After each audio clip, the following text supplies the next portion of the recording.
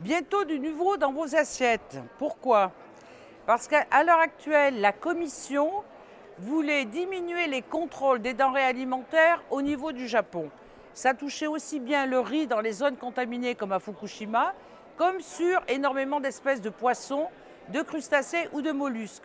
Aujourd'hui, dans le cas de la commission santé environnement consommateur, eh bien les parlementaires ont dit non. On a fait cette objection par rapport à la commission. On veut au contraire renforcer les contrôles. Et pourquoi c'est une proposition de la commission? Parce qu'il y a les accords de libre-échange Union européenne-Japon. Et dans le cas de ces accords, eh bien, on veut diminuer l'impact des retombées radioactives de Fukushima vis-à-vis aussi des exportations entre l'Union européenne et le Japon.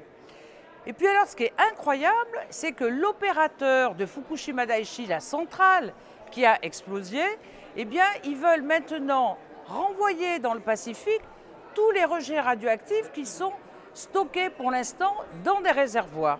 Et ça, c'est des milliers, des centaines de milliers de tonnes de tritium, de césium, de strontium et même certainement du plutonium qui vont aller au niveau du Pacifique.